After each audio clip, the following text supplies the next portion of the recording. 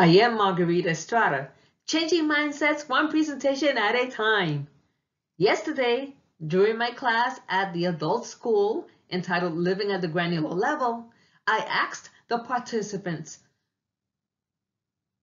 if you were a superhero, who would you be and what would be your superpower? Well, they flipped the script on me, but their answers were still interesting. Enjoy, and I'll talk to you at the end.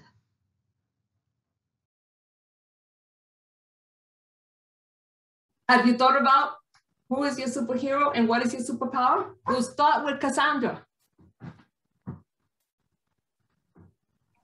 My mother, she's a superhero. She works hard and she worked hard and uh, she's a good person and she helped a lot of people. So she's my superhero. Okay.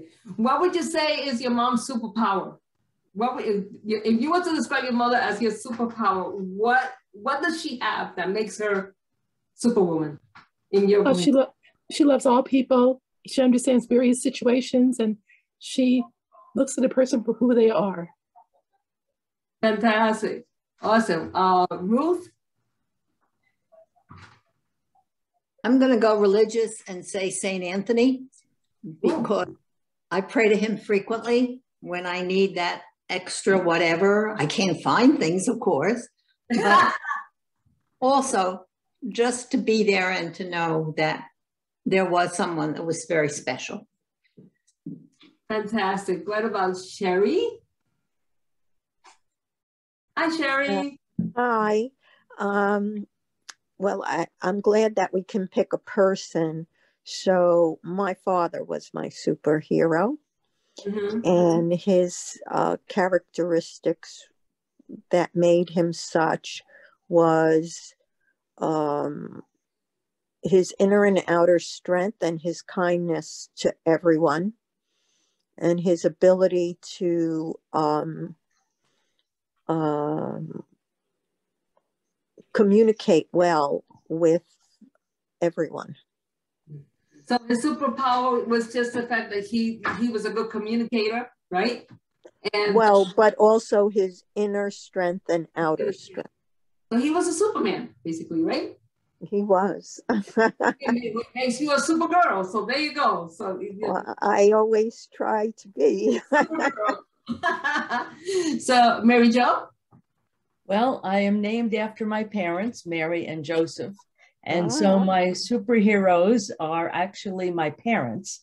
Mm-hmm. Uh, my son gave me this uh, where you write your own story. It's called Storyworth. And each week you get a question and they said, Are you more like your mother or your father? And I'm really the combination of both. So they both were just very mellow people and they treated everyone nicely. Uh, they smiled, they said hello to everyone. They never really got upset.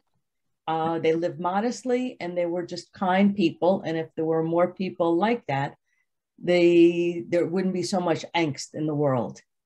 Mm-hmm.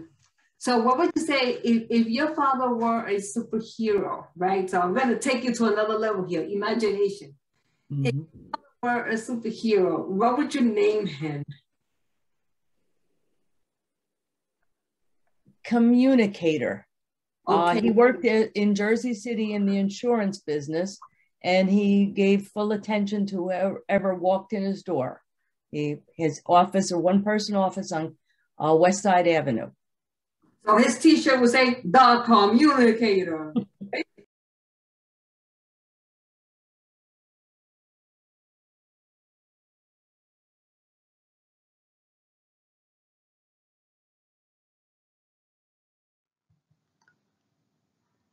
I am Margarita Estrada, changing mindsets one presentation at a time. Wasn't that clip fun to hear? There will be more as the weeks go by. In the meantime, make sure you visit me at estradaprospeaker.com or email me at margarita at estradaprospeaker.com. And remember my mantra, build your arsenal, break the barriers, step up and dare to be the challenger, the initiator, and the change agent that you were meant to be. See you soon.